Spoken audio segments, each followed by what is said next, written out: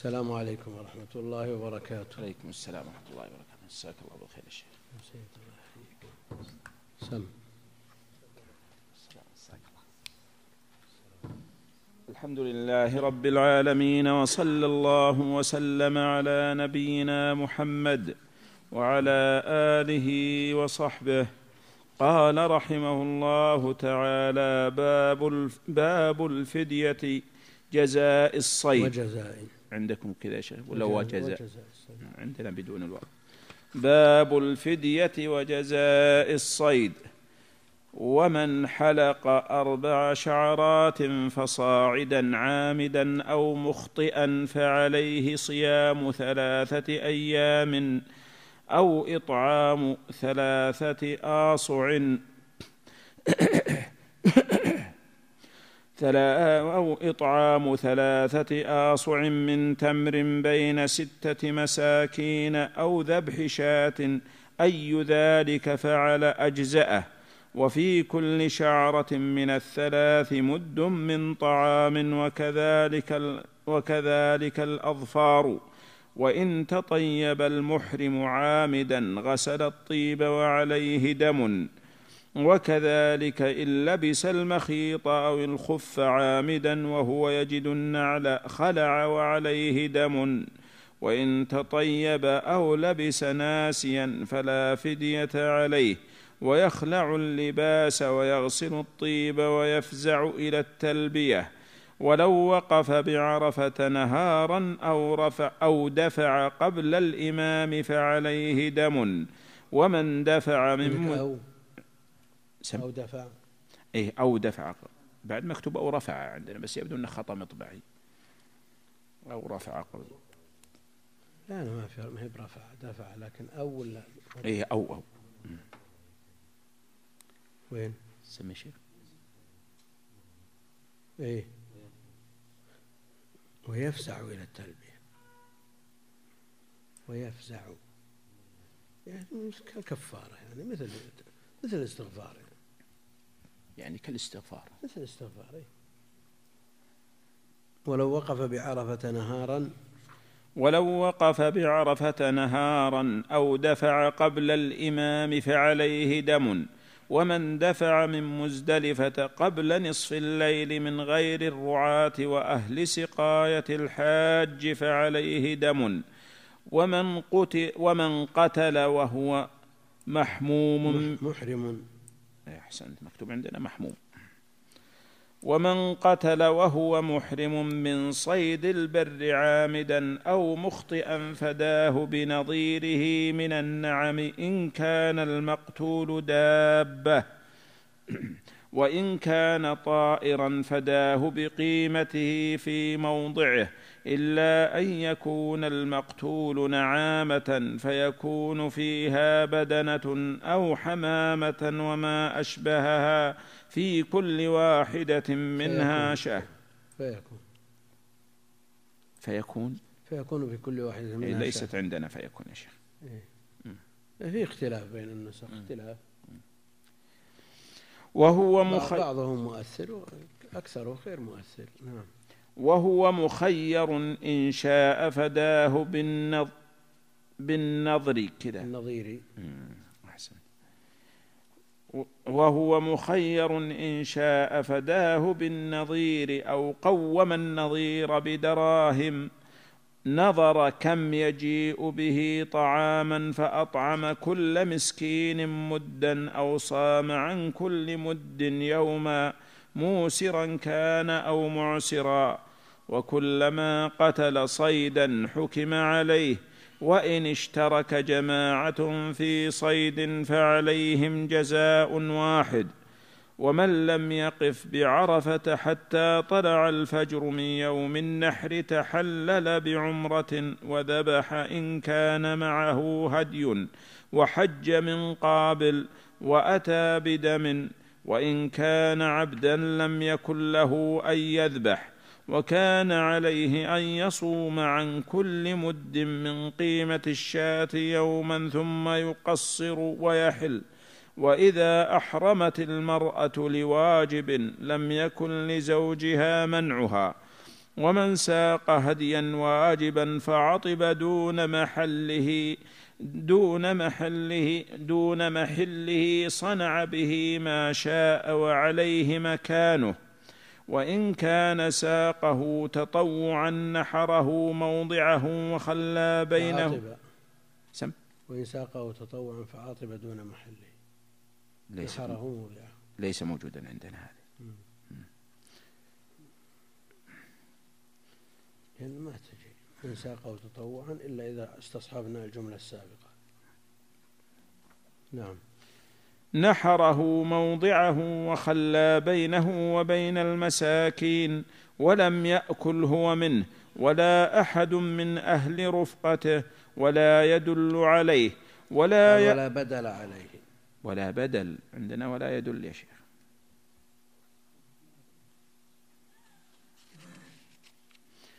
ولا يأكل من كل واجب إلا من هدي المتمتع. وكل هدي وإطعام فهو لمساكين الحرم إن قدر على إيصاله إليهم إلا من أصابه أذى من رأسه فيفرقه على المساكين في الموضع الذي حلق فيه وأما الصيام فيجزئه بكل مكان ومن وجبت عليه بدنة فذبح سبعا من الغنم أجزأه وما لزم من الذبح فلا يجزئ فيه إلا الجذع من الضأن والثني من غيره والله أعلم. الحمد لله رب العالمين وصلى الله وسلم وبارك على عبده ورسوله نبينا محمد وعلى آله وأصحابه أجمعين. أما بعد فيقول المؤلف رحمه الله تعالى باب الفدية وجزاء الصيد. الفدية إما أن تكون لترك واجب أو لفعل محظور. فعل المحظور جاءت به الأدلة وترك الواجب فيه خبر ابن عباس من ترك نسكا فليرق دما وخبر ابن عباس مستفيض عند الأئمة وتلقوه وعملوا به على أنه موقوف عليه ومنهم من يقول هذا له حكم الرفع ومن أهل العلم ينازع أن الأصل براءة الذمة وأنها لا تشغل ذمة المسلم ولا يؤخذ من ماله إلا بطيب نفس منه. لا تشغل إلا بشيء ملزم. وهذا الخبر ليس بمرفوع للنبي عليه الصلاة والسلام فليس بملزم. ولا شك أن ارتكاب المحظور عند الجمهور أعظم من ترك المأمور ترك الواجب. مقرر عند عموم أهل العلم لحديث إذا أمرتكم بأمر فأتوا منه ما استطعتم وإذا نهيتكم عن شيء فاجتنبوه. لأن من أهل العلم من يلحق هذا بهذا. يلحق في ترك المأمور بفعل المحظور. وهذا يدعم به خبر ابن عباس. يعني لو المسألة ما فيها خبر ابن عباس ما قيل بشيء شيء من ذلك ولو بالإلحاق لوجود الفرق جمهور أهل العلم على أن فعل المحظور أعظم من ترك المأمور. طيب الشيخ الإسلام يرى العكس يرى العكس يرى أن ترك المأمور أعظم من فعل المحظور لأن ترك المأمور معصية إبليس وفعل المحظور معصية آدم. ومعلوم أن معصية إبليس أعظم. نسأل الله العافية من معصية آدم. هذا نظر إلى النتيجة. هذا نظر إلى النتيجة. وإلا ماذا عما احتف بمعصية آدم وما احتف بمعصية إبليس؟ احتف بمعصية آدم إلى أن تاب الله عليه وهداه. واحتف بمعصية إبليس إلى أن جعله شر الخلق. نسأل الله العافية.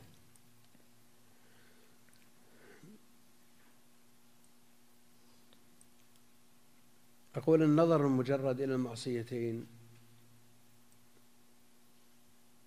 لا يوصل إلى هذه النتيجة إنما النتيجة والنهاية في أمر الاثنين نعم جعل شيخ الإسلام يقول مثل هذا الكلام رحمه الله.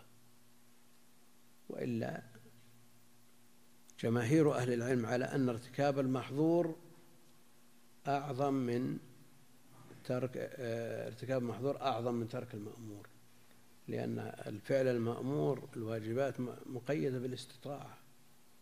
وأما ترك المحظورات فلا خيرة فيها. وما نهيتكم عن شيء فاجتنبوه. وجهة نظر شيخ الإسلام آه، يعني ودليله لو سلمنا في هذه المعصية أنه أمر بالسجود فلم يسجد ونهي آدم عن ترك الشجر عن ترك الأكل من الشجرة فأكل وقلنا بمجرد هذه المعصية ومجرد هذه المعصية هذه أعظم من هذه على رأي شيخ الإسلام. يعني لو قلنا هذا ما نظرنا إلى ما احتف بالمعصيتين مما جعل هذه أعظم بكثير من هذه.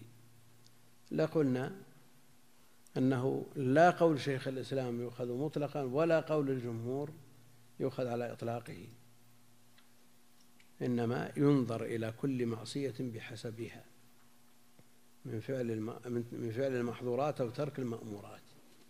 فكم من مأمور تركه أعظم من كثير من من المحظورات.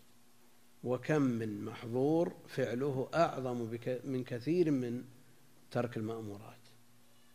وأفضنا في هذه المسألة في مناسبات كثيرة وذكرنا لها أمثلة.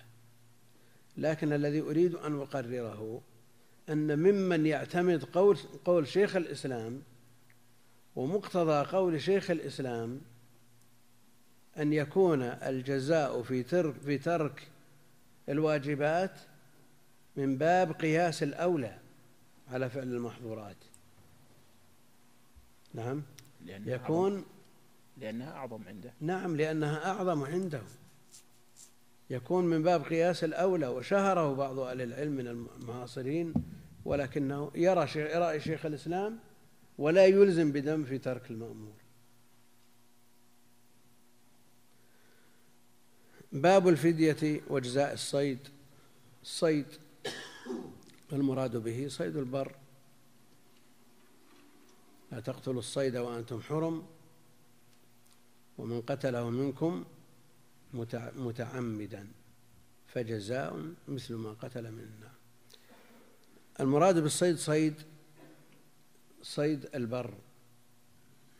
وأما صيد البحر فحل لكم صيد البحر ما دمتم وطعامه. يعني صيد البحر وطعامه حلال. للمحرم. طيب لو وجد ما يشبه البحر من نهر وشبهه أو أخدود فيه ماء كبير ووجد فيه من طعام البحر في الحرم ها الحكم واحد. الحكم واحد. طيب صيد البحر وطعامه. الفرق بينهما؟ قالوا الطعام ما لفظه البحر. ميتا مما لا يحتاج إلى صيد ولا اصطياد. وأما صيده فهو ما يحتاج إلى معاناة واصطياد من الكائنات الحية التي تحتاج في ملاحقتها إلى اصطياد. صيد البحر وطعامه. الصيد المراد به الاصطياد أو المصيد.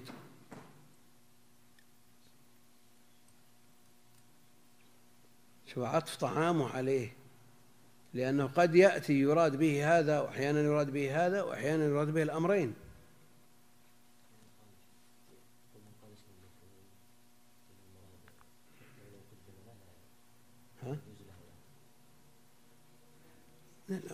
هذا مضى مضى لكن في هذه الآية صيد البحر وطعامه. هل هو المصيد؟ أو الصيد نفسه. يظهر أنه الصيد نفسه. هل هو المصيد أو الاصطياد؟ الاصطياد لأن عطفنا الطعام.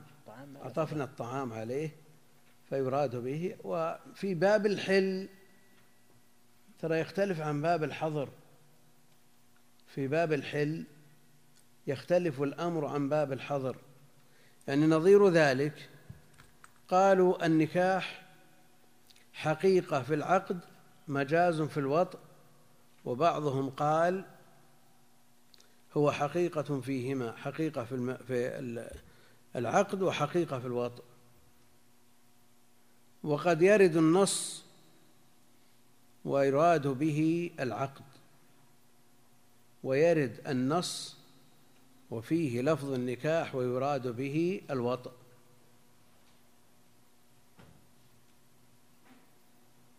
فما الذي يحدد المراد من العقد أو الوطء حتى تنكح زوجا غيره؟ هذا الوطء المراد به الوطء انكحوا ما طاب لكم من النساء. المقصود شيخ الإسلام رحمة الله عليه يقول النكاح المأمور به النكاح المأمور به لا يتحقق إلا بالجمع بين الأمرين. يعني يا معشر الشباب من استطاع منكم الباءة فليتزوج. يأتي شاب ويعقد ويطلق. وخلاص أنا امتثلت الأمر. يكفي؟ يقول النكاح المأمور به لا بد فيه من الأمرين. والنكاح المنهي عنه يتحقق بأحد الأمرين.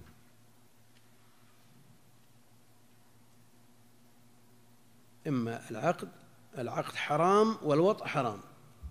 بينما النكاح المأمور به لا يتم الامتثال إلا بالجمع بين الأمرين. الصيد هذا أحيانا يراد به الاصطياد. فيحرم ولو لم يحصل. شخص محرم رأى صيدا فتابعه إلى أن عجز وفي النهاية ما حصل له شيء. يقول أنا والله ما الصيد ما ما, ما عندي صيد. ما صدت.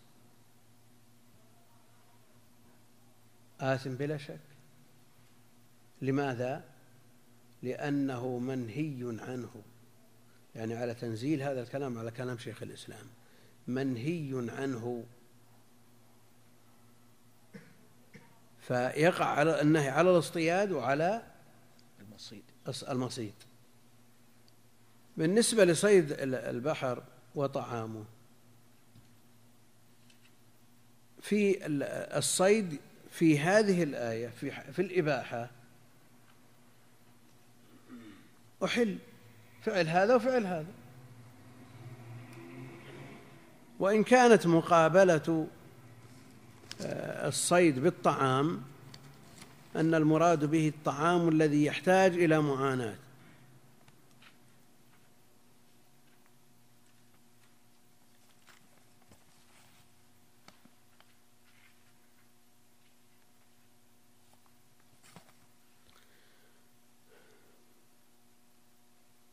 قال رحمه الله من حلق أربع شعرات فصاعدا عامدا أو مخطئا.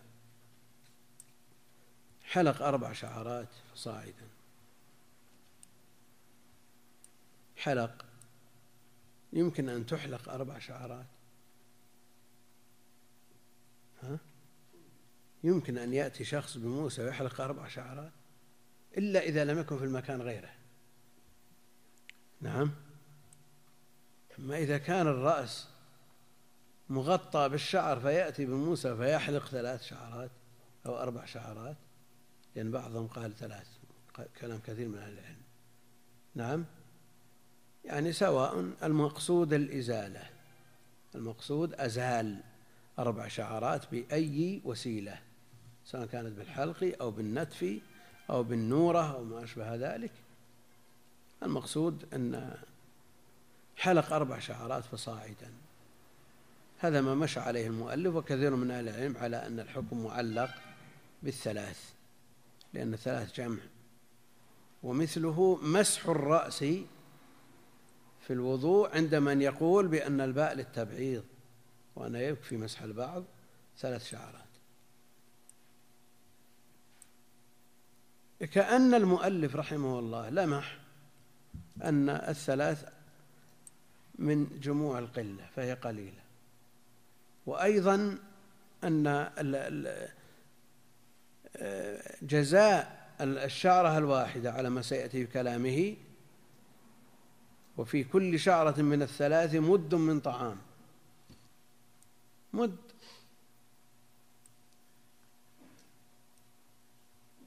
فإذا إذا تجاوز الثلاث انتقل من الأمداد إلى الآصع انتقل من الثلاث إلى الآصع وفداء الأربع فصاعدا بالآصع وليس بالأمداد. وعلى كل حال المسألة إذا حلق أربع شعرات أو ثلاث شعرات فضلا عن كونه يحلق رأسه كله لحاجة أو لغير حاجة عامدا أو مخطئا على المذهب كما سيأتي هذا فيه فدية الأذى فدية الأذى. طيب إذا سقط الشعر من غير قصد هو لا يقصد إسقاط الشعر وإنما يقصد التداوي بما يسقط الشعر. التداوي بما يسقط الشعر. لا يدهن به الشعر هذا شيء لكن أنواع من الأدوية وأنواع من الأمراض نسأل الله السلامة تعالج بما يسقط الشعر. فالشعر ليس بمقصود لا من قريب ولا من بعيد بخلاف ما إذا احتاج إلى إزالة الشعر لا لذاته وإنما لما يقطنه من قمل ونحوه ويحتاج إليه من أجل الحر وما أشبه ذلك. لكن مرض بمرض نسأل الله العافية من سرطان ونحوه فاحتاج إلى الكيماوي وهذا يسقط الشعر. ماذا يقال؟ ها؟ هو ليس متعمدا ولا يقصد الشعر. والشعر ليس من يعني هو ليس من ليس علاجه في حلق الشعر أو أو إسقاط الشعر. بخلاف كعب بن عجرة علاجه في حلق الشعر.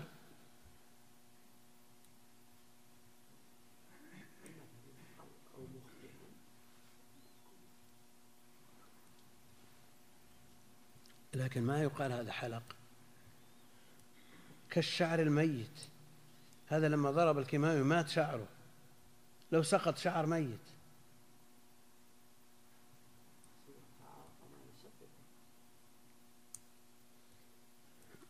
ليس على باله الشعر ليس على باله لا من قريب ولا من بعيد.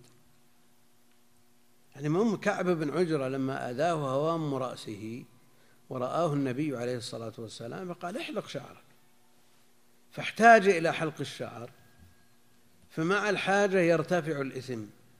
هذا ما في إشكال لكن تبقى الفدية. هذا يقول أنا بعض الناس ما يدري أنه يسقط الشعر. بعض الناس ما يدري أن مثل هذا العلاج يسقط الشعر. وبعض الناس يتمنى أن يخرج من ماله ولا يسقط شعر لحيته. وبعضهم يفضل أن أن يبقى بهذا المرض ولا تسقط لحيته. فهل يلزم مثل هذا بالفدية أو لا يلزم؟ ها؟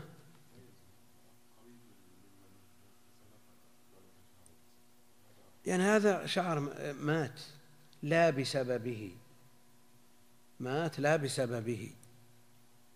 فالذي يظهر ما عليه شيء. قد يقول قائل الرجل المريض بهذا المرض العضال وش يضره أن يطعم ستة مساكين؟ نعم يأتي وقت من الأوقات لو اجتمع أهل قرية ما استطاعوا أن يطعموا ستة مساكين. يعني ما ينظر الإنسان إلى الظرف الذي يعيش فيه. إنما ينظر إلى إلزام مسلم بما ذمته منه براء. بحيث لو جاء في أيام عسرة شق عليه جدا. قالوا من حلق أربع شعرات فصاعدا. أحسن الله إليك. لو رجل رأسه. لو رجل رأسه بطريقة معتادة من غير عذر ولا شيء وسقط شيء معلش إذا يكون هذا أولى شيء هذا من باب أولى. نعم. قال ومن حلق أربع شعرات فصاعدا عامدا أو مخطئا. عامدا أو مخطئا. يعني لو كان عالم أو جاهل ذاكر أو ناسي.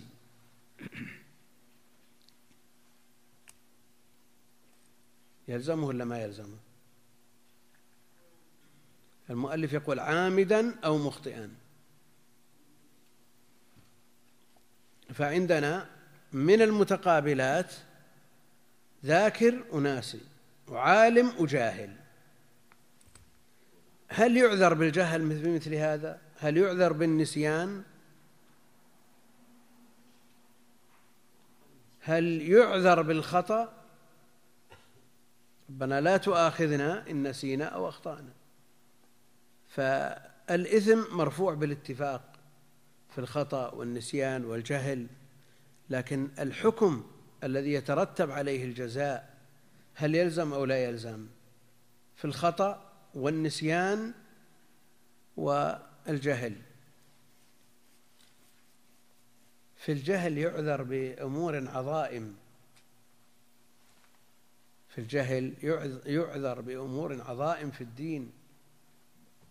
وما كنا معذبين حتى نبعث رسولا. ها. في الثلاثة يعني في الجهل. والخطأ والنسيان. ها؟ هو مثله نظيره نعم. النظر لحديث صاحب الجبة يعني آه، ما ألزمه بشيء. نعم. ما ألزمه بشيء. لكن هم يفرقون بين ما فيه إتلاف وما لا إتلاف فيه. يفرقون ما فيه إتلاف وما لا إتلاف فيه. فحلق الشعر فيه إتلاف قص الظفر فيه إتلاف قتل الصيد فيه إتلاف. فلا يفرقون بين العمد والخطأ بين الجهل والعلم. هذا لأن فيه إتلاف. هذا هذه جادة المذهب. هذه جادة المذهب. مع أنه في قتل الصيد منصوص على التعمد. في قتل الصيد منصوص على التعمد. من قتله منكم متعمدا فجزاء مثل ما قتل من النعم. منصوص على التعمد ونقول لا هذا إتلاف يستوي فيه العمد والخطأ. نعم.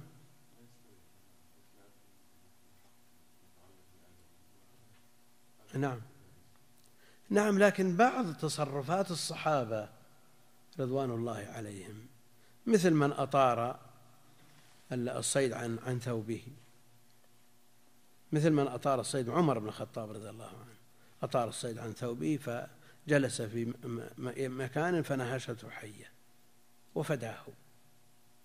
وأيضا تقدم أن تنفير الصيد حرام. تنفيره حرام. دون قتله. فهذا هذا الذي جعل المذهب لا يفرقون بين العمد والخطأ. لكن منطوق الآية ينص على المتعمد ومفهومها يعفي المخطئ. نعم. عامدا أو مخطئا فعليه صيام ثلاثة أيام.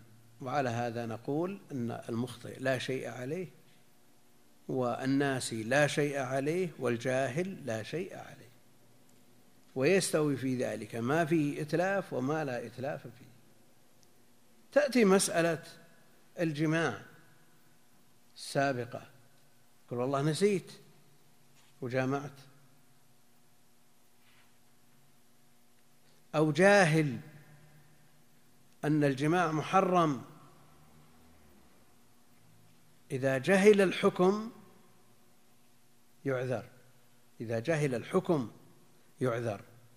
وإذا علم الحكم وجهل ما يترتب عليه ألزم به. إذا علم الحكم عرف أن الجماع محرم لكن لا يعرف أنه يفسد الحج هذا يلزم به.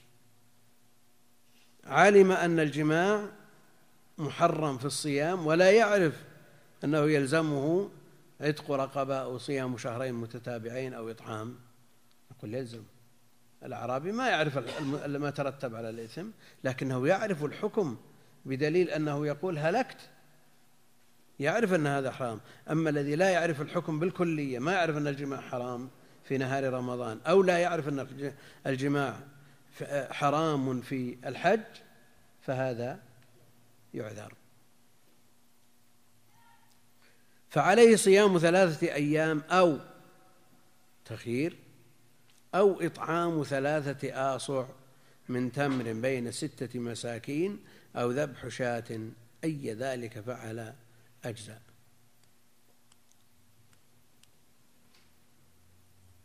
ففدية من صيام أو صدقة. أو نسك. الآية ظاهرة في التخيير.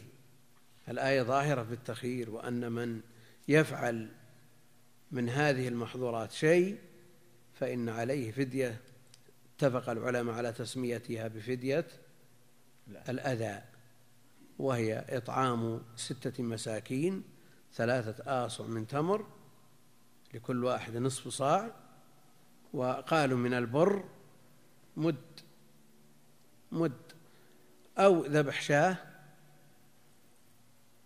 أو صيام ثلاثة أيام على التخيير. لكن جاء في حديث كعب بن عجرة ما يدل على الترتيب. أتجد شاة؟ قال لا. قال أتصوم؟ أتستطيع أن تصوم ستة ثلاثة أيام؟ قال لا. قال أطعم ستة مساكين. هذا يدل على إيش؟ الترتيب. فما الذي يعمل به؟ لا شك أن الآية لا إشكال قطعية ولا تروى بمعنى ولا شيء. هي كذا هكذا كما أنزلت. الحديث حديث كعب بن عجرة بعض رواياته منها ما يوافق الآية على التخيير ومنها ما هو على الترتيب فيرجح من الروايات ما يوافق الآية ما يوافق الآية. ويكون الترتيب إما من فهم الراوي أو من تصرف الراوي على كل حال لأن رواه بالمعنى. أي ذلك فعل أجزاءه.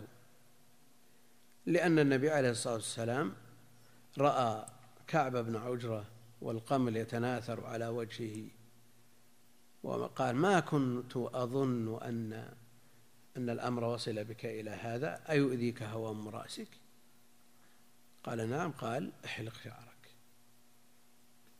فمن احتاج إلى محظور فعله وعليه فديته وعليه فديته. طيب لو احتاج إلى حلق بعض رأسه دون بعض احتاج إلى حلق بعض رأسه دون بعض. قالوا الحاجة تقدر بقدرها لكن ماذا عن حكم حلق بعض الرأس دون بعض؟ ها؟ ومن حلق أربع شعرات. لا ما نبغى الحكم. حكم حلق بعض الرأس دون بعض. للحاجة يا شيخ. ها؟ نظرا للحاجة ما هو مطلقا جائز. وش معنى القزاع خلاص إذا يحرم. الأصل أنه لا يجوز لكن يجوز قلنا أن الحاجة تقدر بقدرها. هل يجوز له أن يحلق جميع الرأس ولقد احتاج بعضه لئلا يقع في القزع المحظور؟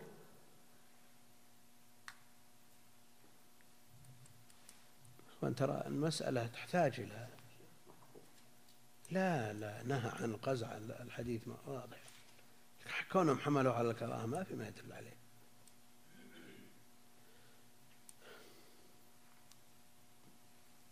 ظاهر تعارض عندنا ولا ما هو ظاهر القزع محرم.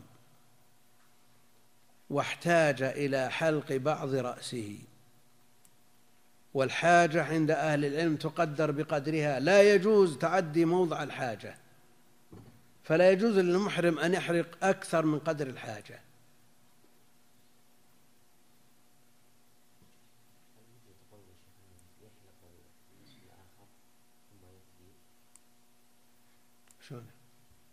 يفتي فدية ثانية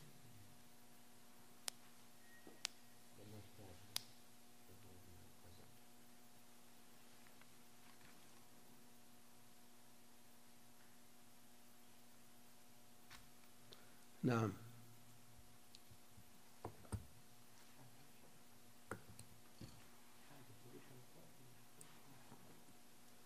الحاجة تقدر بقدرها فلا يحلق إلا ما يحتاج إليه.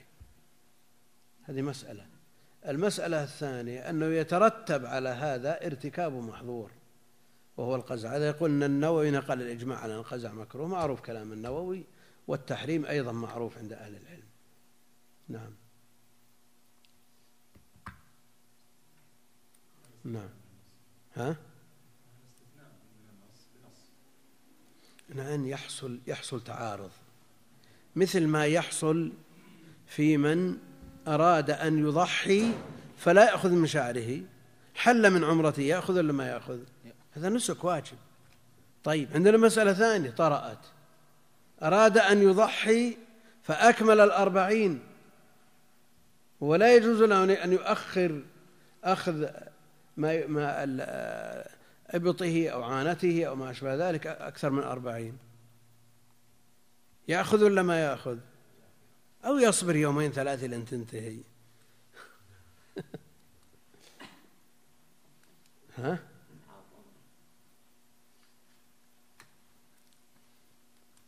يعني التعارض عند أهل العلم معروف باب التعارض واسع وقد تضيق به بعض الأنظار. لا يحتاج لا يستطيع الإنسان أن يرجح فيبقى حائرا. فهذه المسائل تحتاج إلى مرجحات.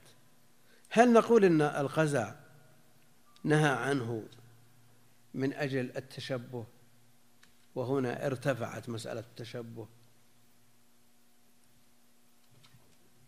ها؟ إيش؟ إيه لا بد منه معروف هذا لكن يبقى أننا هل يأخذ بقدر حاجته أو ما دام ارتكب محظور يرتكب الباقي قالوا الحاجة تقدر بقدرها فلا يجوز أن أن تتعدى قد عد قدر الحاجة ها؟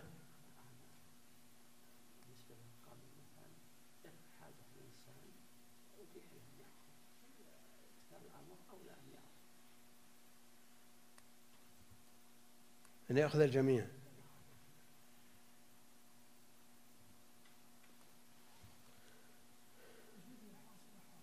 شو حاصلة حاصلة وهذا الذي يحتاج إلى أربع شعرات يحتاج إلى قلعها. يحتاج إلى قلع أربع نقول حلق راسك كله.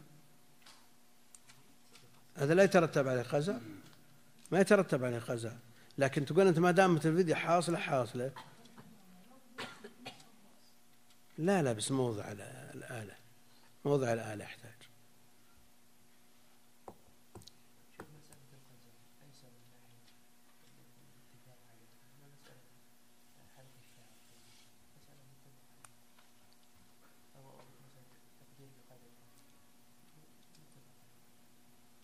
وعلى هذا يحلق ما يحتاج إليه يترك الباقي.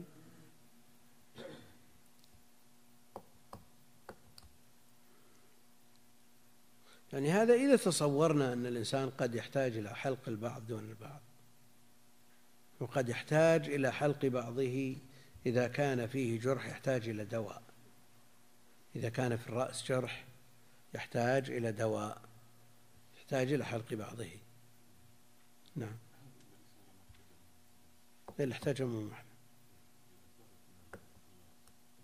ما ثبت. ها؟ شو؟ ما ثبت أنه حلق جميع رأسه. وهذا كذا الحاجم يحتاج إلى موضع الحجامة.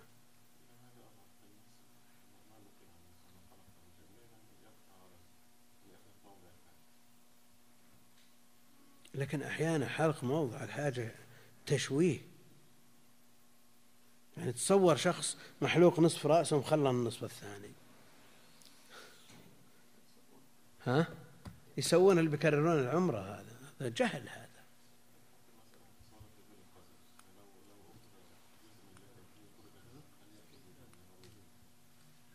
نعم هذه مسألة ثانية. هذا شخص كثيرا ما يتعذر بها بعض من يرتكب محظور ويخشى الناس. ويخشى الناس. تصادف فلان كث اللحية ثم تشوفه يوم من الأيام آخذ من لحية شيء كثير يعني. ما هو بالتدريج. يقول والله نمت عند الحلاق فأخذ الجزء الأيمن ويوم أفقت قلت له واس لحيتي. فهل إذا حلق النصف من اللحية يترك الباقي أو يقال يحلق النصف الثاني؟ أن تفترض شخص شخص نام بالفعل أو يتبخر إصابة المجمر ها؟ جمر المجمر. نعم أو يتبخر تطيب فأكل أكلت النار بعض لحيته دون بعض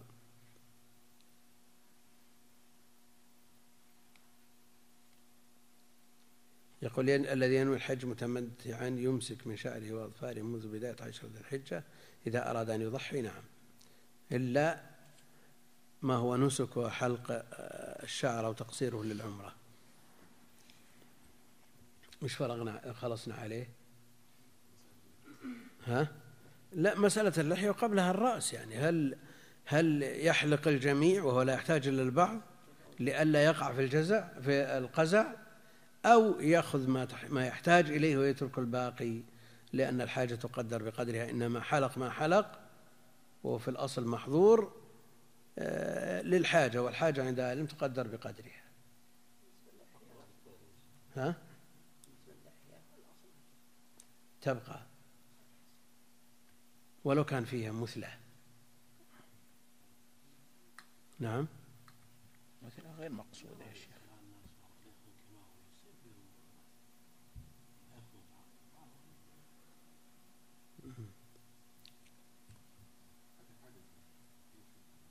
شو؟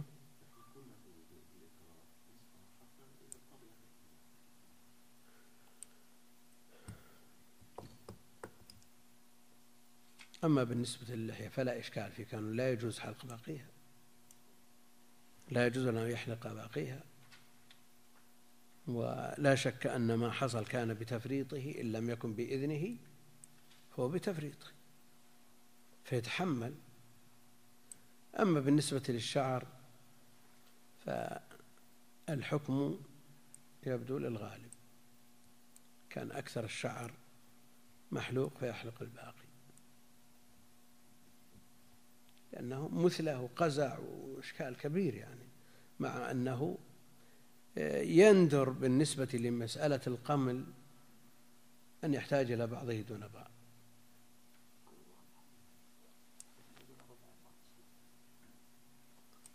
يحتاج إلى أربع فصاعد إلى أربع فصاعد هل نقول أنه ما دام لزمته الفدية فليكمل؟ هم؟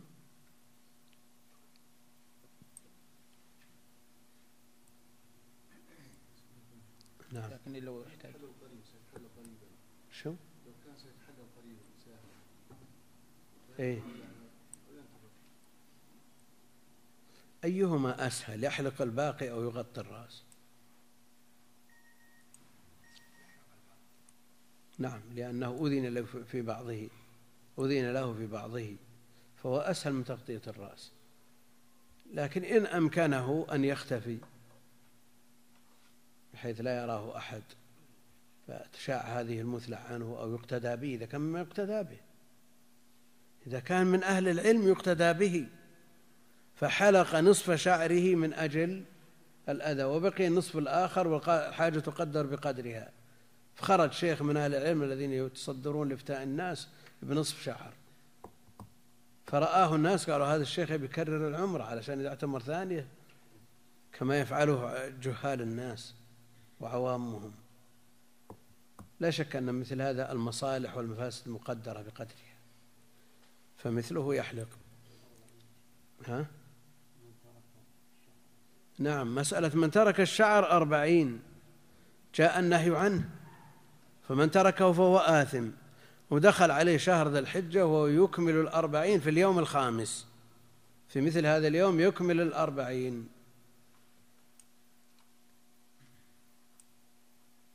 نعم. ماذا يصنع؟ ها؟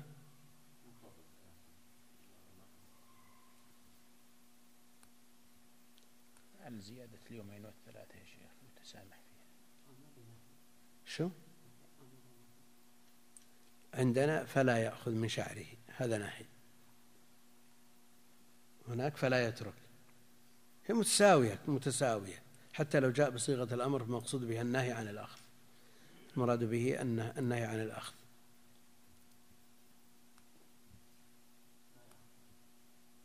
ما يأخذ لماذا؟ لا ما يعني تم الأربعين في اليوم الخامس مثل هذا اليوم. أيوه. أيوه. أيه. هو ما فيه لأن هذا إتلاف وهذا ترك. إتلاف مطلوب. إتلاف مطلوب ما هو إتلاف منهي عنه وين هو تشبه. تشبه بمن أحرم. لأن فيه نوع شبه وهو إراقة الدم. في وجه شبه وهو إراقة الدم.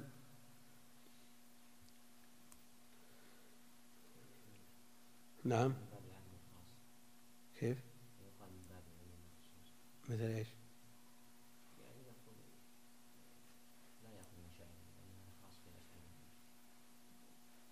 وذاك عام في جميع الأوقات.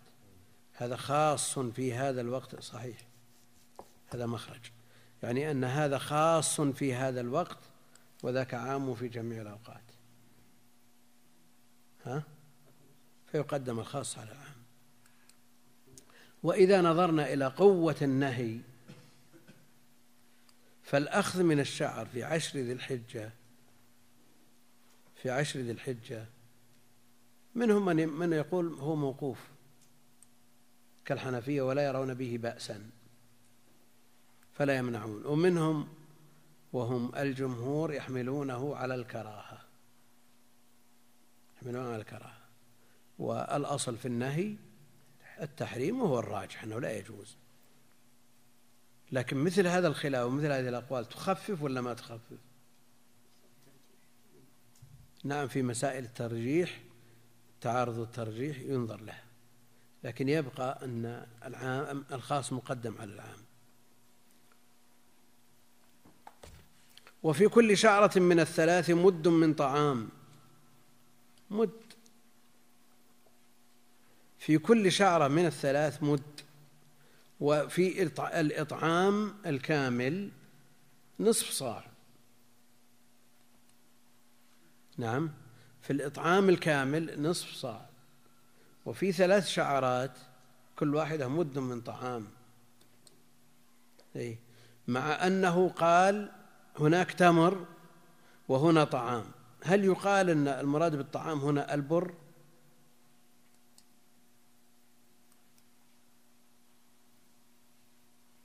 لأن التفريق بين التمر والبر عند أهل العلم معتبر معروف. فهل يستوي الإطعام من جميع الأنواع؟ من التمر والبر والشعير والزبيب و كما في الفطرة. لما جاء معاوية بسمراء الشام جعل الفطرة من البر الأسمر. كم؟ نصف صاع. نصف صاع على على النصف من من غيره من الأنواع. فالتفريق بين البر وغيره معروف عند أهل العلم. فهل نقول أنه مد من طعام يعني من بر وما عداه نصف صاع؟ هو المد تكرر تكرر وفيه أقضية من الصحابة. لكن هل نقول أنه مد من طعام حتى مد من تمر في الشعرة الواحدة؟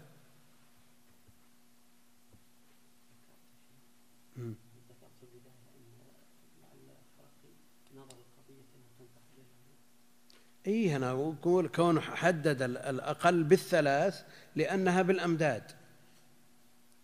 وهذا لا شك أنه لأن غيره يقول من حلق ثلاث شعرات فأكثر. وعنده أن الثلاث جزاؤها بالمد وما عداها بالآصع بنصف الصاع. فحكمها يختلف عن حكم غيرها. وفي كل شعرة من من الثلاث مد من طعام وكذلك الأظفار. الأظفار فيها نص ولا ما فيها نص؟ ما فيها نص.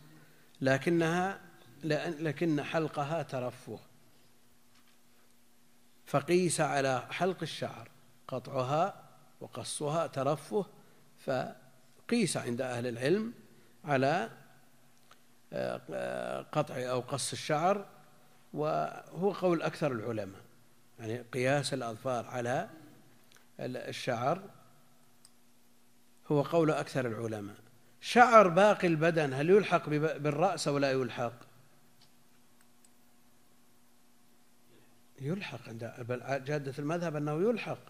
وهو قول أكثر العلماء. منهم من يقول أن الأمر خاص بالرأس ومنهم من يقول هما شعران. هذا شيء وهذا شيء. فإذا حلق رأسه ففدية. إذا حلق شعر بدنه فدية أخرى. كمن غطى رأسه وغطى بدنه. عليه فدية ولا فديتين؟ فديتان فديتين لأنهما محظوران. ومنهم من يقول مثل الشعر. جنس واحد فدية واحدة. التغطية ولبس المخيط جنس واحد وفدية واحدة. وهذا قول معروف في المذهب.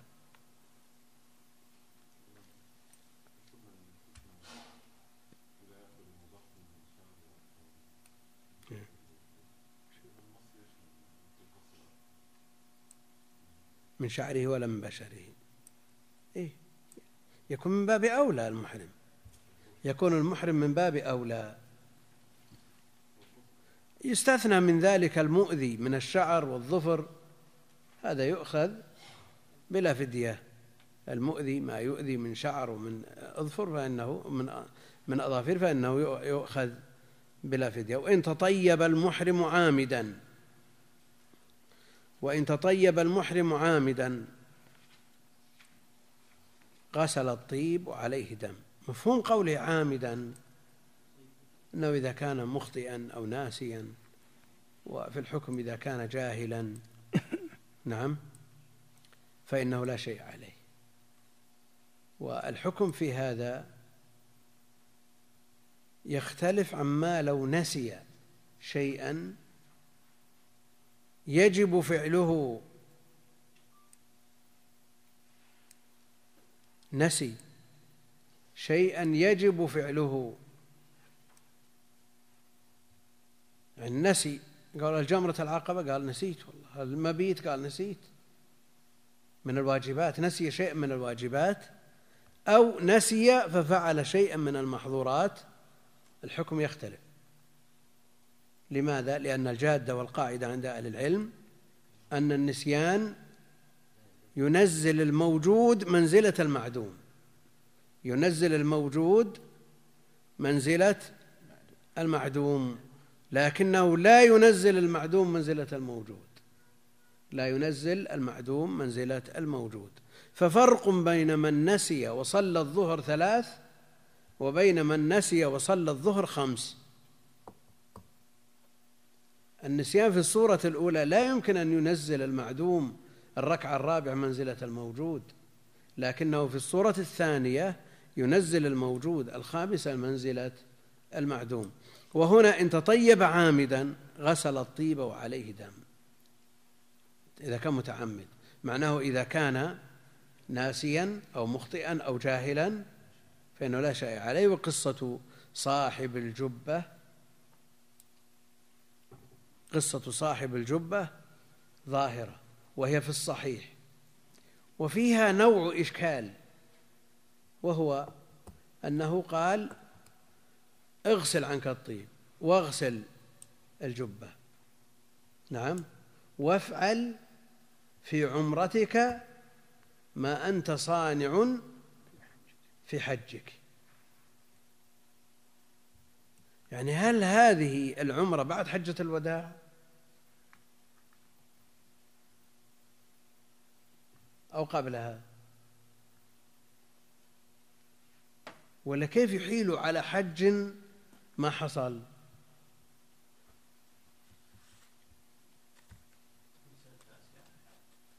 من هو؟ حج قبل ذلك؟ لكن الظاهر أن القصة قبل قبل التاسع.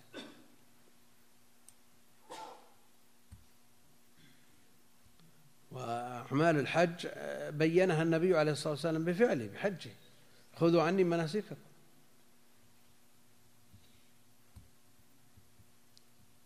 هذا يحتاج إلى تأمل. قال وإن تطيب المحرم عامدا غسل الطيب وعليه دم وكذلك إن لبس المخيط أو لب أو الخف عامدا وهو يجد النعل خلع وعليه دم. خلع وعليه دم. طيب لبس ثوب قميص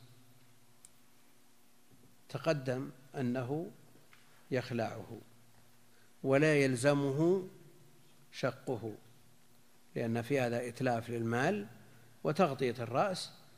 يعني بالنسبة لإتلاف المال أقل وهي أيضا من باب الخروج من المحظور. والخروج من المحظور يفعل ولو ترتب عليه محظور أقل منه. مثل من المكث في الدار المغصوبة لا يمكن أن أن يخرج من هذا المحظور إلا بأن يستطرق هذه الدار ويمشي فيها بغير إذن صاحبها. فمثل هذا يتجاوز عنه. نعم.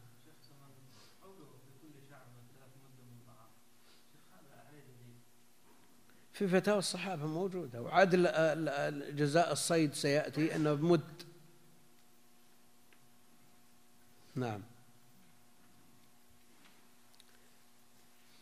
قال وإن تطيب المحرم عامدا غسل الطيب وعليه دم وكذلك إن لبس المخيط أو الخف عامدا وهو يجد النعل وتقدم الخلاف في قطعه إذا لم يجد النعل. طيب. شخص قطع الخف. قطع الخف. شخص قطع الخف. لم يجد نعل وقطع الخف. يعني لبسه للخف. بمثابة لبس النعل الخف المقطوع أو للحاجة. ولا يلبس إلا إلا يجد. نعم. وليقطع. فاللبس والقطع مربوط بالحاجة لعدم وجود النعل. فإذا قطع الخف وليقطعه أسفل من الكعبين هل نقول له أن يستمر ولو وجد نعلا؟ أو نقول لبس الخف المقطوع لعدم النعل؟ أو نقول أن الخف المقطوع نعل ها؟ لأن لأنه آذن بلبس المقطوع عند عدم النعل. وليقطعوا نعم.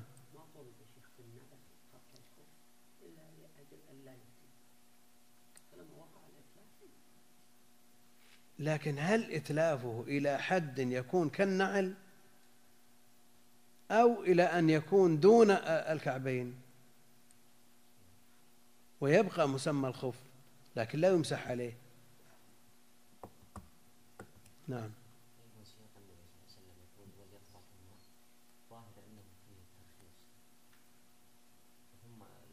لعدم وجود النعل لعدم وجود النعل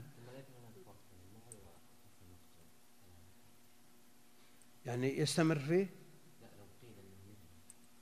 إي نعم. طيب يذكر عن عن محمد بن الحسن أن المقصود بالقطع قطع الخف حتى يكون دون الكعبين ليس المراد به الكعبين اللذين في جانب في جانبي القدم وإنما الذي في ظهر القدم. وإذا كان دون الكعب الذي في ظهر القدم صار صار نعل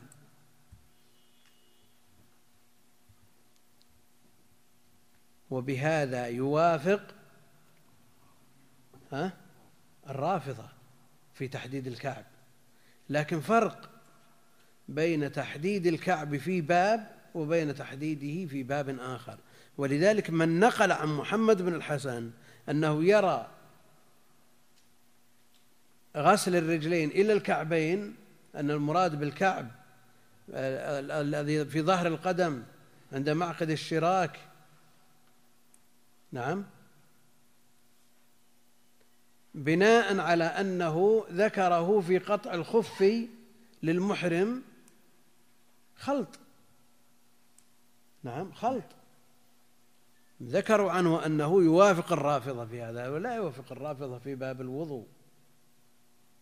لا يوافقهم في باب الوضوء وإنما في قطع الخف عند من لم يجد النعل ليكون نعل. وليش معنى أنه عند معقد الشراك؟ شراك النعل. هاي إذا صار نعل انتهى الإشكال.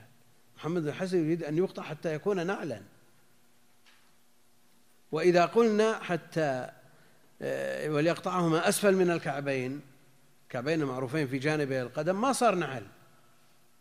فيكون استعماله للحاجة. فإذا وجد النعل يخلع. هذا الخف المقطوع ويلبس النعل وين؟ إيه هذا خف هذا هذا خف تغطية ب بمخيط على قدر القدم. لا المقطوع.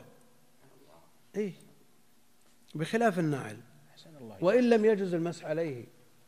نعم. لو أمكنه أن يعطف. مؤخر الخف ولا يقطع يلبسه معطوفا نعم صحيح. وهذا يفعل كثير من الناس. ويأتي بعض الخفاف على هذه الكيفية. يأتي تصير مرنة تصير الخف مرنة. إن أرادها نعل صارت وإن أرادها خف صارت. إذا أمكن ذلك فلا يقطع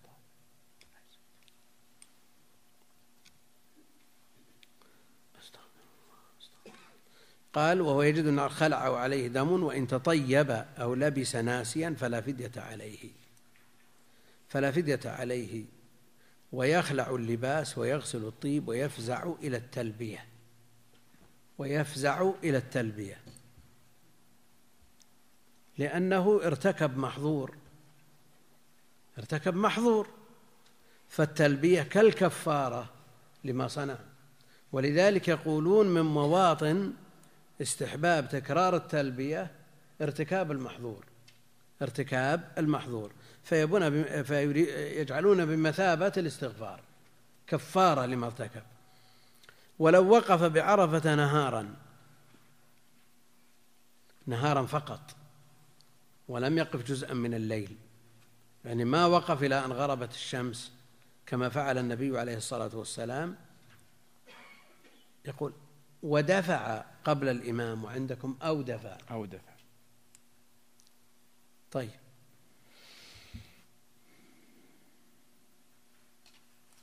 مر بنا مرارا. مر بنا مرارا ربط المناسك بالإمام. ربط المناسك بالإمام.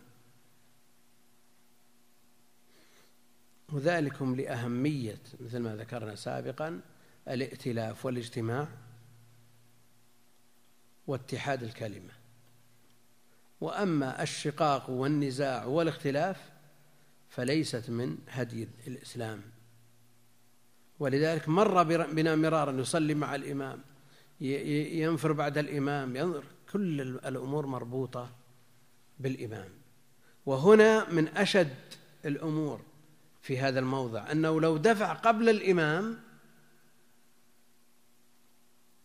لو دفع قبل الإمام فعليه دم. طيب نعود إلى الجملة. ولو وقف بعرفة نهارا يعني ودفع قبل أن يدركه الليل لا شك أنه ترك واجب لأن الواجب الجمع لمن وقف بالنهار بين الليل والنهار. لأن النبي عليه الصلاة والسلام لما تحقق مغيب الشمس دفع إلى مزدلفة. وقال خذوا عني مناسككم وهذا واجب عند أهل العلم. منهم من يقول لا لا, لا شيء عليه لأنه وقف ساعة من النهار يكفي.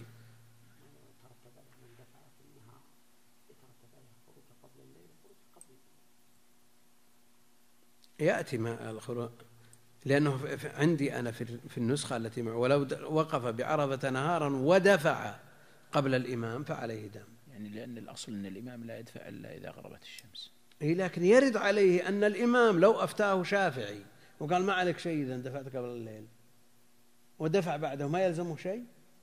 هو لو تأخر الإمام ولم ينتظره ودفع قبله بعد الغروب ولكن الإمام لم يدفع. يعني إذا ربطناه بالإمام. إيه لا هذه لها, لها طرد وعكس. لها طرد وعكس. يعني لو وقف بنهار ودفع قبل الإمام فعليه دم. لو وقف نهارا ودفع قبل الغروب هذا عليه دم على المذهب. بغض النظر عن الإمام. ولو كان دفعه بعد الإمام إذا كان الإمام يخالفه في الرأي. يعني هذا حنبلي مع الإمام. فدفع الإمام الإمام معتنق مذهب الشافعي ودفع قبل غروب الشمس وتبعه هذا. هل نقول عليه دم ولا ما عليه؟ نعم عليه دم. لكن افترض أنه على قول المؤلف الإمام ما دفع إلا بعد غروب الشمس وتأخر أيضا فدفع هذا قبله بعد الغروب يلزمه إيش؟ دم على كلام المؤلف. وإن كان المرجح أنه ما دام جمع بين الليل والنهار لا يلزمه شيء.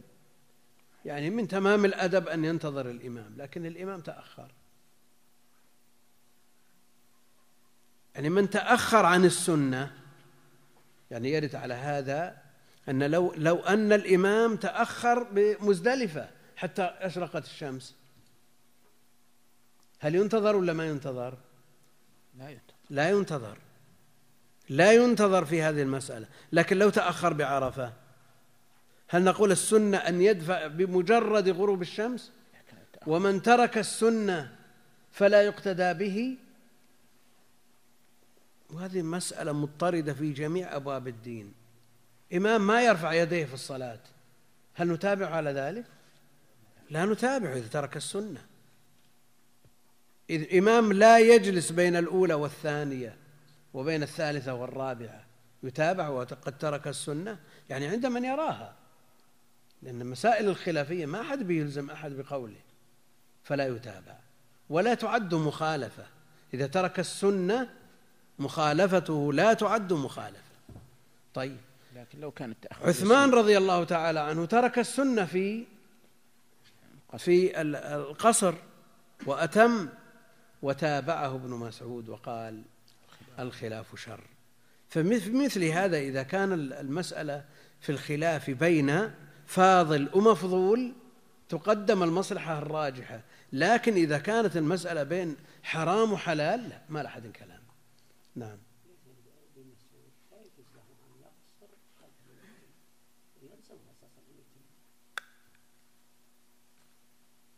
لا يلزم أن يصلي وراء غيره. صلى معه تمام وهو له مندوح أن يصلي بجماعة أخرى. هو بدخل في الصلاة وهو ما يدري داخل أنه يدري.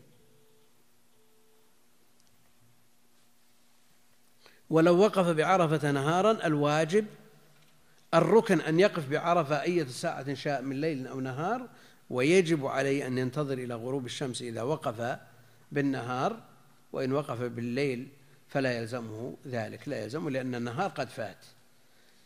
أو دفع قبل الإمام فعليه دم لا شك أن انتظار الإمام والدفع بعده هو الأصل كما فعل الصحابة اقتداء بالنبي عليه الصلاة والسلام. لكن إذا كان الإمام مفرط وخالف السنن فلا شك أن إذا أدى ذلك إلى مفسدة ولم يؤدي إلى ارتكاب محظور فالمتابعة أولى كما فعل ابن مسعود.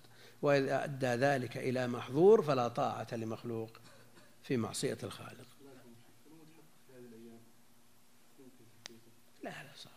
لا الإمام له طريق الحالة ولا يعلم. ولا يعرف مكانه. لا يعلم متى لا هو بالإمكان أن يعلم ويمكن أن يحدد مكانه لكن, لكن كأنهم أسقطوا هذا الحق. يعني بصنيعهم أسقطوا هذا الحق. هو من حق الإمام أن تكون بعده وتقتدي به لكن أسقطه بفعله هذا. نعم. أحسن الله إليك. هو في طريق. نعم يمكن يعلم من في الطريق هذا أنه انصرف ولم ينصرف لكن بقية الطرق في عرفة لا أيضا المواكب وكون خلفه سيارات وكذا ما يبون أحد يعني يصير. لكن لوجود ظروف تقتضي مثل هذه الأمور. قضية بقية جهات عرفة لا يعلمون متى يصل. نعم. هم بهذه الطريقة أسقطوا حقهم في هذا.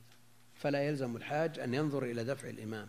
لكن المسألة مفترضة في حجهم على القديم كلهم حول الإمام. وكان الناس لهم عناية بالولاة.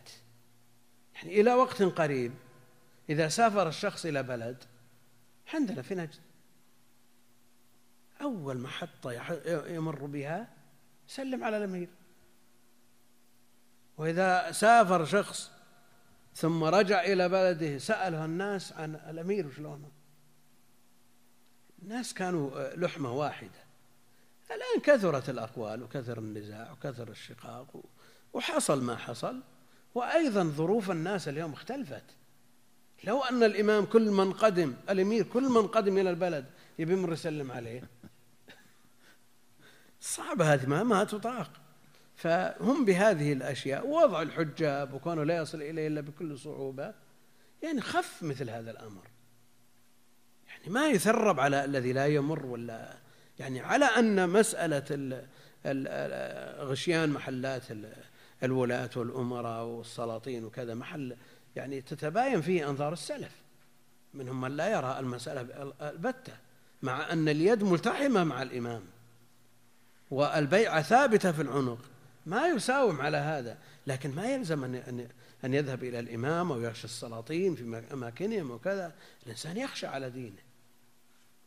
لأن يعني أماكنهم مع, مع, مع ما مكنهم الله من أمور الدنيا. قد تكون ظروفهم وكثير من تصرفاتهم يختلف عن تصرفات كثير من أهل التحري. وهذا منهج معروف عند السلف. والله المستعان. لكن هي المسألة على أن الإمام له حق ويجب أن يتبع. لكن إذا أسقط هذا الحق أو رأى الناس أن من الرفق بالإمام أن لا يتبع في مثل هذه الأمور فلا مانع من ذلك إن شاء الله تعالى. وهذا لا يخل لا من قريب ولا من بعيد ببيعة ولا غيرها أو نزع يد من طاعة. هذا أمر آخر مقرر يعني هذا معروف في الشريعة بالقطع. وهل يخرج على هذا أحسن الله إليك؟ هل يخرج على هذا أحسن الله إليك الشذوذ في الفتيا أن من رأى رأي شاذ لا يفتي به. نعم جمعا للكلمة واعتمادا لمن ولاه الإمام.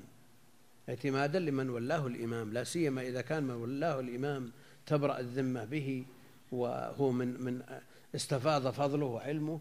مثل هذا يراعى لئلا يشوش على العامة.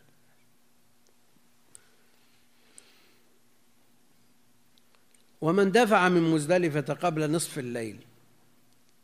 الجمهور ربطوا المبيت بمزدلفة بما بعد نصف الليل قالوا لأن الحكم للغالب. وهذا الغالب انتهى بنصف الليل. ومنهم من يربطه بمغيب القمر كما في قصة أسماء ومنهم من يربطه بوقوف النبي عليه الصلاة والسلام إلى أن أسفر جدا. من دفع قبله يلزمه جزاؤه. على كل حال لا ينبغي للمسلم لا سيما طالب العلم الذي يقتدى به أن يفرط بهذه الأمور. بل عليه أن يقتدي بالنبي عليه الصلاة والسلام. ويطبق الحج خذوا عني مناسككم لتكون على الوجه المأمور به لأن بيان الواجب واجب. وقد بين النبي عليه الصلاة والسلام هذا بفعله آه، فلم يدفع من مزدلفة حتى أسفر جدا أيضا المخالفة تقع من التأخر بعد دفعه عليه الصلاة والسلام إلى الإشراق. قالوا من دفع من مزدلفة قبل نصف الليل من غير الرعاء وأهل السقاية وأهل سقاية الحج فعليه دم يعني المعذورين. دفع الرعاة. رعاة الإبل والغنم التي يحتاجها الحجاج للهدي وأهل سقايتهم والأصل أن السقاية بمكة بمكة. والعباس استأذن من النبي عليه الصلاة والسلام أن يسقي الناس من زمزم بمكة. فمثل هؤلاء يصعب عليهم المبيت وإن نازع بعضهم في الرعاء. نازع بعضهم في الرعاء. لماذا؟ لأن الرعي بالنهار والمبيت بالليل. فلا حاجة إلى ترك المبيت اللهم إلا إذا كان يحتاج إلى حفظها وعنايتها ورعايتها وسقيها وما أشبه ذلك. المسألة الأمر فيها واسع. نعم.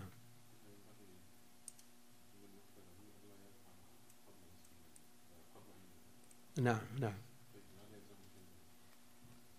على قول الجمهور ما يلزمه شيء. ما يلزمه شيء. أحسن الله إليك. لو لم يصل إلى مزدلفة إلا بعد منتصف الليل ومعه ضعن ومعه ضعفة. ما وصل إلى منتصف إلا منتصف الليل. هل يقال يلزمه منتصف الليل من أي جزء منه؟ أو هو مربوط بنصف الليل الذي ينتهي مثلا في الساعة الثانية عشر أو الحادي عشر أو الواحدة على حسب طول الليل وقصره لم قال قبل نصف الليل.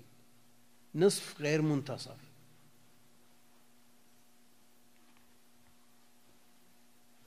نصف الليل غير منتصف الليل. نعم. إذا قلنا نصف الليل يلزمه أن يمكث نصف الليل. وصل الساعة 11 يمكث خمس ساعات نصف الليل. ولا ينصرف إلا الساعة كذا. لكن إذا طلع الفجر وصل بعد منتصف الليل وما بقي إلا ربع الليل. على دفع النبي عليه الصلاة والسلام لا أحد يقول له انتظر إلى الضحى. على كل حال الطرقات والزحام واجتماع الناس ظروف لها لها خصوصياتها. يعني يتجاوز فيها ما لا يتجاوز في أوقات الساعة.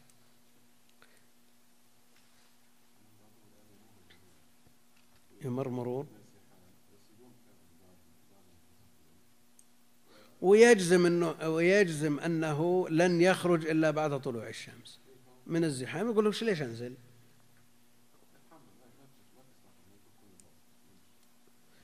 اي لكن وش اللي يغلب على الظن أنهم يبقون؟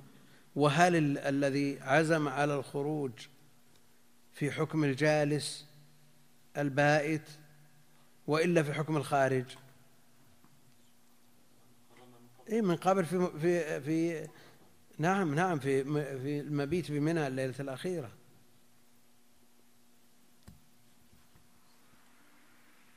ومن قتل وهو محرم صيد البر ومن قتل وهو محرم من صيد البر عامدا أو مخطئا. هناك من حلق عامدا أو مخطئا. لماذا؟ قلنا لأن فيه إتلاف. من قتل وهو محرم من صيد البر عامدا أو مخطئا. فداه بنظيره من النعم لأن فيه إتلاف لكن هذا التقرير مخالف لمنطوق الآية منطوق لمنطوق الآية. إن كان المقتول دابة إن كان المقتول دابة يعني من ذوات الأربع ويخالفها الطائر. يعني جاء في القرآن ما يدل على أن الطائر يختلف عن الدابة لعطفه عليه. وجاء ما يدل على أنه دابة.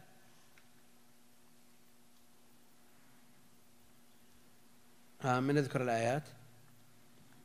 آية هود. ها؟ نعم منها منها الطائر. هذا يدل على أنه دابة. طيب. ولا طائر. نعم. يدل على أنه غير دابة. لكن ما الذي يمنع أن يكون دابة؟ كما في الآية الأولى وعطفه في الآية الثانية من باب عطف الخاص على العام. هنا فرقوا. جعلوا الدابة شيء والطائر شيء. قال ومن قتل وهو محرم من صيد البر عامدا أو مخطئا فداه بنظيره من النعم إن كان دابة. إن كان دابة. لأن التشابه بين الدواب والأنعام ممكن ممكن لكن التشابه بين الطيور مع الأنعام بعيد. بعيد جدا إلا من ملاحظ دقيقة جدا قد لا يلاحظها أكثر الناس. طيب قد يقول طائر قد يقول قائل إن كان طائرا لماذا لا يفديه بطائر؟ هنا يفديه بنظيره من النعم. ها؟ لا لا. يفديه بنظيره من النعم يعني من من بهيمة الأنعام. انتهينا. لكن إن كان طائر فداه بطائر. قلنا إن كان من دابة فداه بنعم. إن كان طائر لماذا لا يفديه بطائر؟ لتتحقق المماثلة. طائر صيد. شلون يفديه؟ كيف يفديه بصيد؟ فيعود إلى نفس المحظور فلا يمكن. قال وإن كان طائرا فداه بقيمته. فداه بقيمته في موضعه يعني الذي صاده فيه. فداه بقيمته في موضعه قال طيب أنا معي دراهم ولا عندي أكل وهذا صيد وهو محرم. أبى صيده وأفديه بقيمته.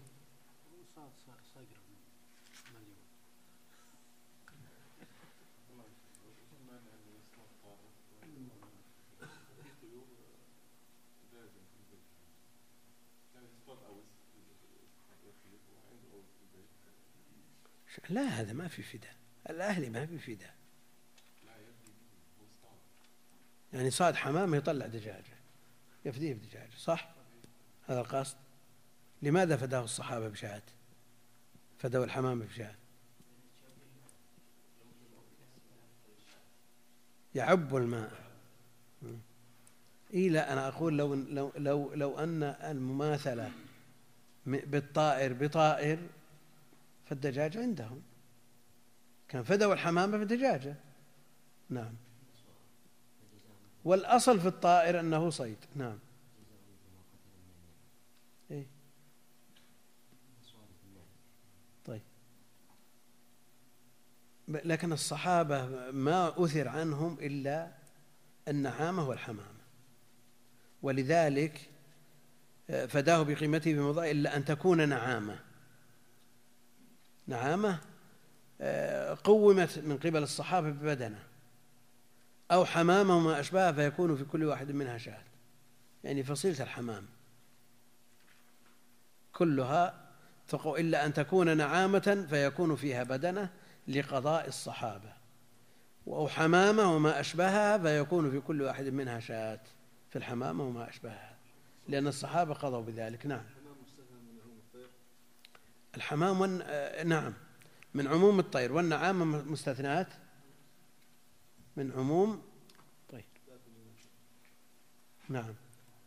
ولذا قال وإن كان طائرا فداه بقيمته في موضع إلا أن تكون نعامة. نعم. نعم. إلا أن تكون نعامة أو حمامة.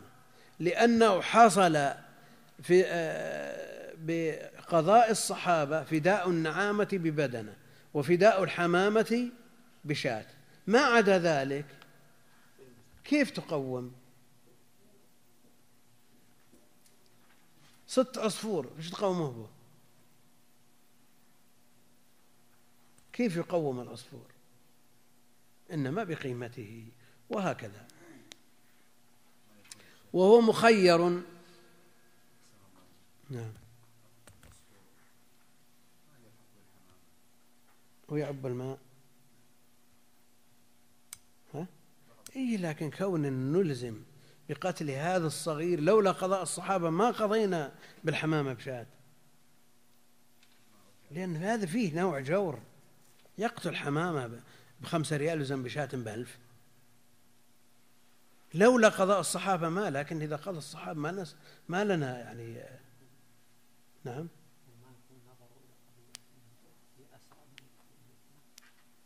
وش؟ فمن باب آه، غلق الباب لمن تسول له نفسه شدد في العقوبة. هم نظروا يعني العلماء قالوا إن الرابط بينهما كون الحمامة تعب الماء. نعم. وهو مخير إن شاء فداه بالنظير. هذا بالنسبة لإيش؟ النعم.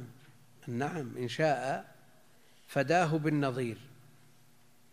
وللصحابة أقضية. الضبع مثلا. نعم. نعم. وغير ذلك المهم لهم أقضية في هذا إن شاء فداه بالنظير يعني بما قضى به الصحابة. أو قوم النظير بدراهم. كم تسوى هذه الشاة؟ ألف ريال يعني في وقتنا هذا. الشاة قومت بدراهم. ألف ريال. ونظر كم يجيء به طعاما. سأل عن الطعام. الرز بكم؟ الكيس؟ 150 فنحتاج إلى سبعة أكياس بدل الشاة. نحتاج إلى سبعة أكياس.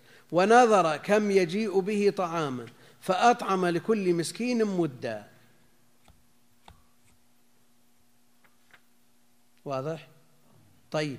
أو صام عن كل مد يوما. كم الكيس من مد؟ الكيس خمسة عشر صاع. يعني ستين مد. ستين مد. ستين مد. في سبعة؟ أربعمائة وعشرين. أربعمائة وعشرين يوم. يصوم سنة ونصف لا تضحكون يا أخوان. ترى جرى وقت يصوم آه، طول عمره ولا ولا يخرج ألف. نعم. لأن الأمور كانت فيها شح وفيها عسر. وكانت أجور البيوت في اليوم السنة بريال. فتلزم بألف ريال لكن قل أنه في ذلك الوقت الشاة يمكن تصير بريال. لأن الأمور الأمور متناسبة. من يجد الريال. نعم؟ لكن من يجد الريال. نعم الريال فيه صعوبة. أو قوم النظير بدراهم ونظر كم يجيء به طعاما فأطعم كل آه، كل مسكين مدا أو صام عن كل مد يوما. يصوم أربعمائة وعشرين يوم. موسرا كان أو معسرا. يعني ما ينتقل إلى الصوم إذا كان معسر لا يجد ما يطعم ولا يفدي. وإذا كان موسر لزمه ذلك لا. هو مخير في هذا كله. موسرا كان أو معسرا وكلما قتل وكلما قتل صيدا حكم عليه. إيش معنى هذا؟ أن الصيد لا تتداخل كفاراته. صاد حمامة ثم صاد حمامة ثم صاد حمامة. هل نقول أن هذا مثل آه، الكفارات الأخرى تتداخل؟ أو كل ما صاد صيد فعليه جزاؤه لأنها لا تتداخل. وكلما قتل صيدا حكم عليه. فلا تتداخل. وإن اشترك جماعة في قتل صيد فعليهم جزاء واحد. اقتدى آه، اشترك جماعة في قتل صيد فعليهم جزاء واحد. طيب اشترك جماعة في قتل آدمي. نعم. عمد. إيه؟ يقتلون جميعا. طيب اقتلوا اشتركوا عمد في قتل صيد فعليهم جزاء واحد. طيب. هذا أخرجه من الحل وهذا قتله. هذا طرده من الحل. والثاني حلال غير محرم فصاده. سبق تنظير المسألة بالشجر. بالشجر. قلع شجرة وغرسها في الحل. فجاء شخص فاجتثها. الجزاء على من؟ على الذي قطعها وأتلفها ولا على الذي أخرجها؟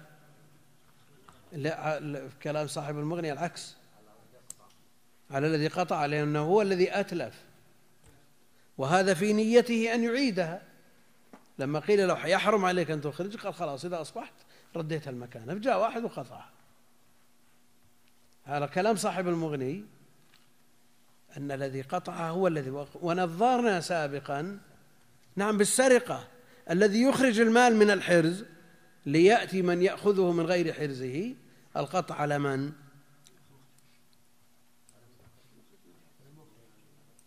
نعم على تنظير صاحب المغني على من؟ سرق لكن ما سرق من حرز. لكن إذا كان هناك تواطؤ بين اثنين قال طلع من الحرز وأنا قال أنت ما سرقت؟ وأنا أعترف بأني سرقت لكن من غير حرز. تواطؤ بينهم. يقطعان. كلاهما يا شيخ. هو مسألة إذا كثر شيء وإذا كان قليل ونادر شيء آخر تدرأ الحدود بالشبهات إذا كانت المسألة يسيرة. أما إذا كثر وعم وانتشر في البلاد هذا لابد من قطع دابر الفساد. وإن اشترك جماعة في قتل صيد فعليهم جزاء واحد والله أعلم وصلى الله على نبينا محمد وعلى آله وصحبه أجمعين.